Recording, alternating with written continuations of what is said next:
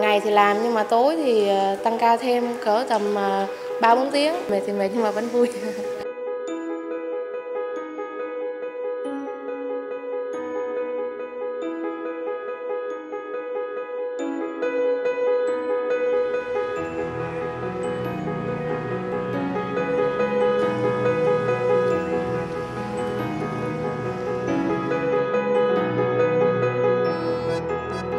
Sau 2 năm đến ngày hôm nay công trình hoàn thành.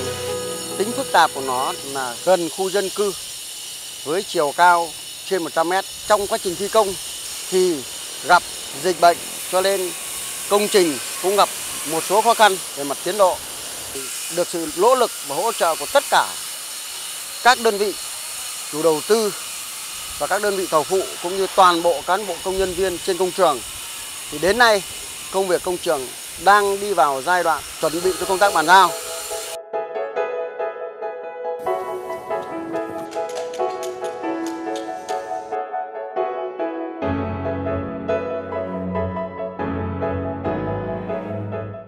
À, qua quá trình kiểm tra thì anh thấy chất lượng ở đây nó đạt rất là tốt à. Theo anh đánh giá thì so với các dự án khác thì dự án ở đây cái vật liệu thì nó tốt hơn nhiều.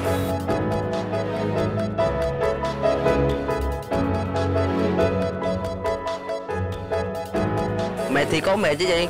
Cũng hay thường tăng ca nữa không vài tiếng. Tới phút cuối thì à, cái áp lực công việc thì nó rất là nhiều nhưng mà cũng phấn khởi vì là có một cái là cái phút cuối thì thành quả của mình nó sắp đạt được rồi.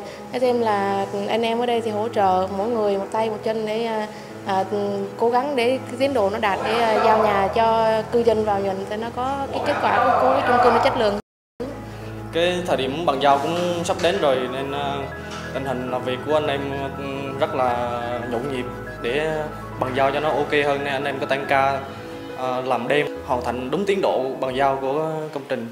Cảm ơn đến tất cả các đơn vị và các lao động, cảm ơn sự hỗ trợ của chủ đầu tư, của các cấp lãnh đạo để công trường hoàn thành ngày hôm nay.